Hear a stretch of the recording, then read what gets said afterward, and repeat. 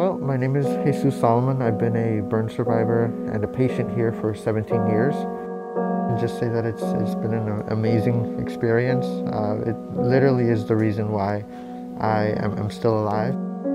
I come from Mexico, and where I'm from, um, you really can't get the care that you can get here.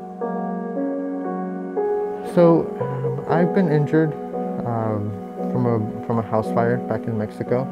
Um, roughly 85% of my body is covered in scar tissue, but where I'm from, uh, we didn't have the care to, to help me recover from my injuries.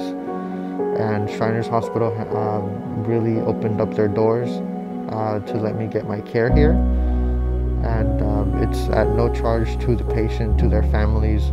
Uh, we come from pretty much all over, all over the globe uh, with different financial backgrounds, and that's the last thing we want to worry about when once a family member is, is on the line. When I first came here, uh, just one of my parents was, was able to come, uh, but uh, thankfully both of them are now here. We wouldn't have been able to to piece our lives back together after after the, the event. Shriners Hospital has given me the chance at, at a better life.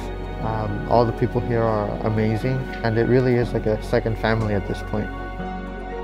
I've had my current doctor uh, for several years now, Dr. Boo.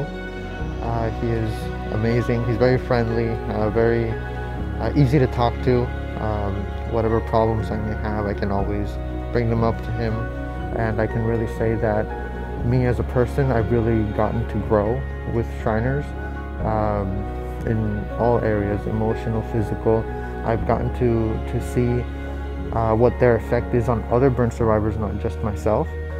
And uh, I, I really can't thank them enough. And I think I'll spend the rest of my life trying to, trying to make it up to them. The gift of care for me was a chance of a better life.